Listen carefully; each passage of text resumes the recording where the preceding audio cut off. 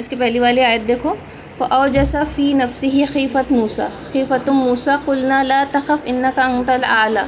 के डर में महसूस किया अपने नफ्स में डर मूसा सलाम ने। और क्या कहा फिर अल्लाह पाक ने? क्या कहा मूसा सलाम को? ला तखफ़, ना डर।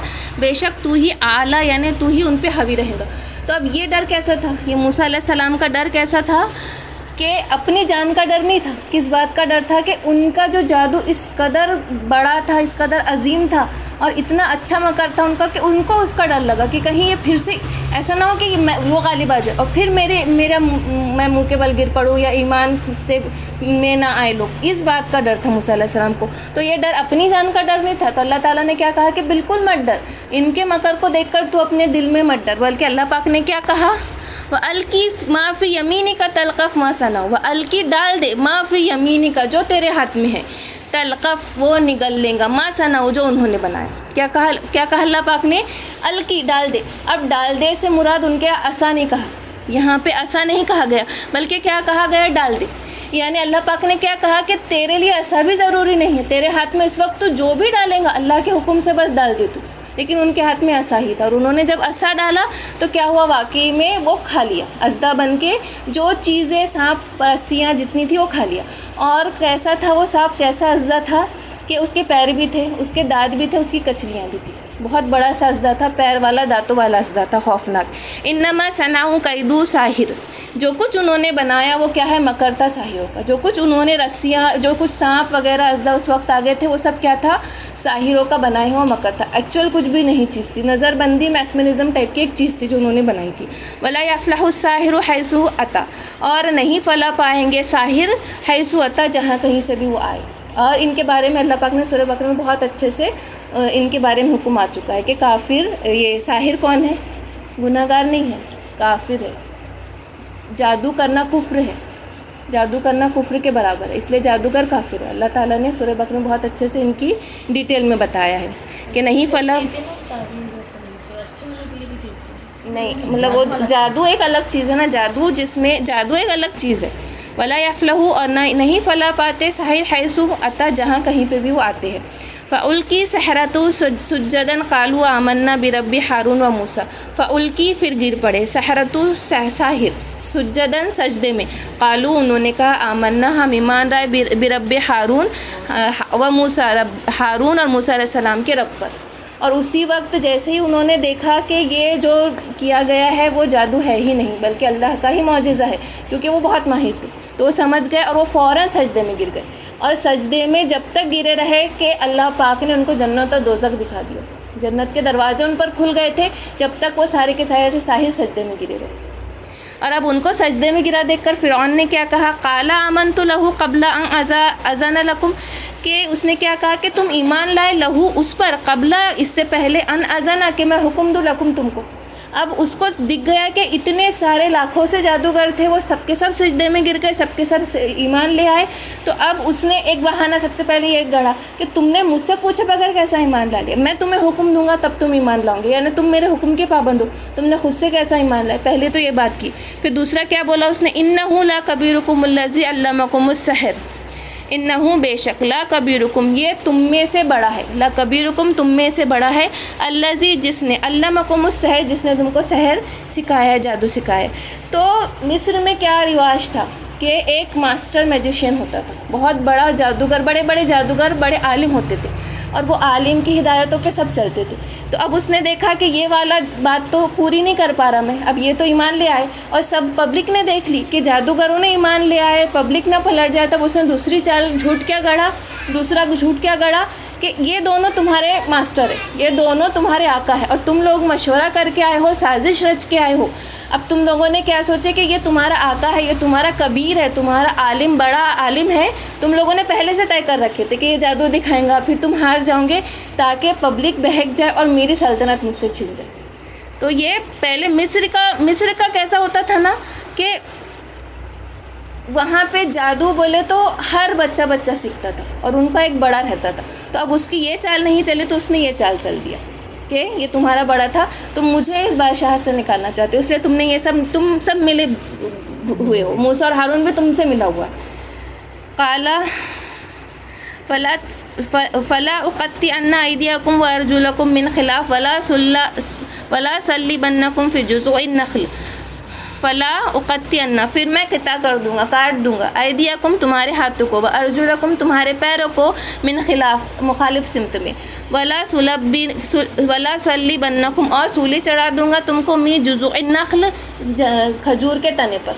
और ये इस तरह की जो सज़ा थी कि एक हाथ और मुखालिफ सिम का पैर काट देना, ये इसने इसी ने राइज किया था, इसने शुरुआत किया था फिर ने इस तरह की सज़ा देने का। और क्या करता था वो कि सूली पर चढ़ाता था, लटका देता था। और वो कई दिन तक भूखे प्यासे लटके रहते थे और इसी हालत में मर जाते थे। ये सज़ा थी उसकी। इस तरह का सज़ा देता था वो। और उसने यही सज़ा की धमकी दी कि मैं अपोजिट साइड के हाथ पैर काट दूँगा और तुमको सूली पे इस तरह लटका दूँगा तुम भूख और प्यास से वहीं तड़प के मर जाओगे। लेकिन उसके जवाब में वल, वला तो अल्लीमुन्ना अयूना अशद अजाबन वबका कि तुम जान लोगे अयूना किसका अशद ज़्यादा शदीद है अजाबन अजाब व अबका और ज़्यादा देर तक रहने वाला। और तुम जान लोगे कि किसका अजाब ज़्यादा सख्त ज़्यादा देर तक रहने वाला है। ये जादूगरों को कहा। तो कालू, उन्होंने क्या कहा? लन सिरका अला माजा अना मिनल बैनात वल्लजी फ़तरना। फ़ी माँ अंता काजिन लन सिर का असरा तरजीह देना लन सिर का हम हरगिज़ तुझे तरजीह नहीं देंगे ये बना उसका जुमला लन सिर का हम हरगिज़ तुझे तरजीह नहीं देंगे अल्लाह पर माजाना जो आ गई मिलन बैनात वाज दलील वल्लजी और जिसने फ़तरना हमको पैदा किया फ़ी कर गुज़र माँ अंता जो तू काजिन करना चाहता है अब हमने जो चीज़ देख ली है, जब वो सिजदे में गिरे और उन्होंने तो दरवाजे खुल गए थे, अब उन्होंने क्या कहा कि हमारे पास वाज दलील आ चुकी, अब हम तुझ पर तरजीह नहीं देंगे, जब हमारे पास वाज दलील आ गई, हमने सजदे में तो देख ही लिया कि अल्लाह की हकीकत क्या है, और तू जो, जिसने हमको पैदा किया, हम उसकी वाज निशानी देख चुके, अब तू जो करना चाहता है, कर गुज़र। इन्नमा तगज़ी हाजिल हयात दुनिया। इनमा जो तू तगज़ी करेगा, हाजिल हयात दुनिया। इसी दुनिया में कर सकता ना तू? जितना तू हम पे जुल्म, जबर, मौत भी दे सकता तो कब तक हम बर्दाश्त करेंगे? इस दुनिया में। ज़िंदा रहेंगे तो ही बर्दाश्त करेंगे। इन्ना मन्ना भी रबिना यफ़र यगफ़िरा लना ख़तायाना वमा अकरहतना अलही मिन सहर इन्ना बेशक आमन्ना हम ईमान राय भी रबिना हमारे रब पर लिया गफ़िरा उम्मीद है कि बख्श दे लना हमारा हमारे लिए ख़तायाना हमारे ख़ताया को वमा अकरह तना और तूने हमें मजबूर किया व वमा अकरह तना और तूने हमें मजबूर किया अलही मिन सहर इस जादू पर अब उन्होंने ये क्यों कहा कि तूने हमें मजबूर किया इस जादू पर, क्योंकि मिस्र का क्या वो था ना, मिस्र एक ऐसी जगह थी जहाँ लैंग्वेज डेवलप होना बाकी थी, लेकिन जादू डेवलप हो गया था। इतना उन लोग जादू यानी उनका मेडिसिन उनका साइंस उनका दीन उनका मज़हब हर चीज़ को जादू ही समझते थे वो। उनके लिए जादू यानी कोई आम या वो चीज़ नहीं थी। उनका दीन भी जादू था उनकी उनका साइंस भी जादू था उनका इलाज भी जादू उनकी मेडिसिन भी जादू। जादू ही हर तरफ़ चलता था। और उन्होंने बाकायदा मिस्र में जब बा, बाकी वो की गई खुदाई वगैरह तो जर्मनी में उनके बड़े बड़े लिखे हुए स्क्रिप्चर्स मिले जो आज तक वहाँ इसमें म्यूज़ियम में अभी भी रख रखे हुए उनमें बहुत डिटेल्स उनकी पूरी स्क्रिप्चरिंग है, पूरे उनके जादू की। तो उन्होंने ये क्यों कहा कि तूने हमें मजबूर किया? कि कई रिवायत में है कि उस वक्त जादू इतना कंपलसरी था कि सबको सीखना ही पड़ता था, क्योंकि हर जगह जादू था। और एक रिवायत में है कि उसने कई बनी साल के बच्चों को जबरन पकड़ के उनको जादू सीखने पर मजबूर किया था। इसलिए उन्होंने ऐसा कहा कि तूने हमें मजबूर किया। या फिर एक, ये भी रिवायत है कि एक दफ़ा कि उनको ख्याल आ गया कि नहीं मूसम जब उनको दावत दे रहे थे, जब स्टार्टिंग में हमने आए थे देखी तो एक बार के उनके दिमाग में आ गया था कि नहीं, ये नबी है, जो इनकी बातों से ही वो जब, जैसे उन्होंने मशवरा किया तो कुछ लोग उसी वक्त आ गए थे ना, दलील से कायल हो गए थे। लेकिन फिर ये हो सकता है कि फिर उसने इस बात पे मजबूर किया कि नहीं, तुमको मुकाबला करनी है तुम पीछे नहीं हट सकते। तो ये अलग अलग रिवायतें हैं।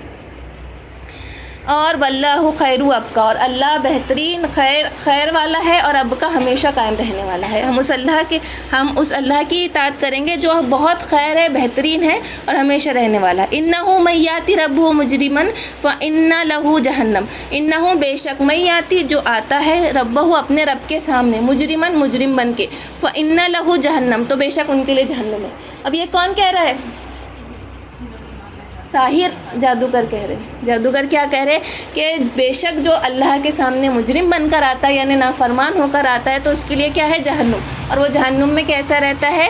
ला युमी तो फ़ीहा वला याहिया। ना वो मरता है ना वो ज़िंदा रहता है। कि एक बार के जब उनकी हड्डियाँ उनके जिसम पूरा चूरा चूरा हो जाएगा तो खुश हो जाएँगे। और वो मालिक जो रिजवान दारोगा है मालिक उनसे कहेंगे कि अब हमको मौत आ जाएँगे। तो कहें नहीं, नहीं तुमको मौत नहीं आ सकती। और एक रिवायत में है कि जो जो जिनके अंदर ईमान थोड़ा बाकी था, वो जहन्नुम में जल भून के राख हो जाएँगे। फिर फरिश्ते उनकी राख को उठाएँगे और जो नहरें हैं उनके तक पास वो राख डाल दी जाएगी। फिर जन्नती उस राख पे पानी डालेंगे तो वो असरनों पैदा हो जाएँगे। लेकिन कितनी तकलीफ़ के बाद में कितनी तकलीफ़ के बाद अल्लाह हिफाजत करे। पमैयाती ही मोमिन का दामिला सालह फ़लाकलहमदरजातला और जो आता है मोमिन बनकर, और जो नेक अमाल करता है फ़लाकलहमदरजात उनके लिए दर्जात है उला आला। जन्नातुल अदनी तजरी और बाग है। अदनी तजरी हमेशा बसने वाली तजरी मिन तहती अनहार, जिसके नीचे बहती है नहर खालिदीना फ़िहा। उसमें हमेशा रहेंगे वज़ाल का जाज़ा मन तज़क्का। और यही बदला है जो पाक हो गया। और ये कौन कह रहा? ये कौन कह रहा? ये जादूगर कह रहे।